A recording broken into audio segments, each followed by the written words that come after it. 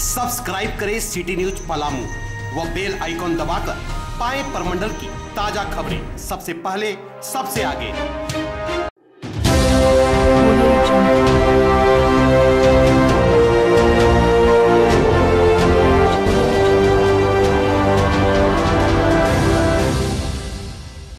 पाकी पुलिस के द्वारा चलाया गया वाहन चेकिंग अभियान पलामू एसपी संजीव कुमार के निर्देश पर पांकी प्रखंड में पांकी थाना पुलिस के द्वारा शुक्रवार की दोपहर पांकी मेदिनीनगर मुख्य पथ के कर्पूरी ठाकुर चौक के समीप एवं राजकली पेट्रोलियम के समीप घंटों सघन वाहन चेकिंग अभियान चलाया गया।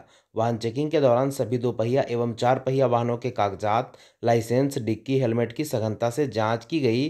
वहीं बगैर हेलमेट व लाइसेंस के लोगों को कड़ी फटकार भी लगाई गई।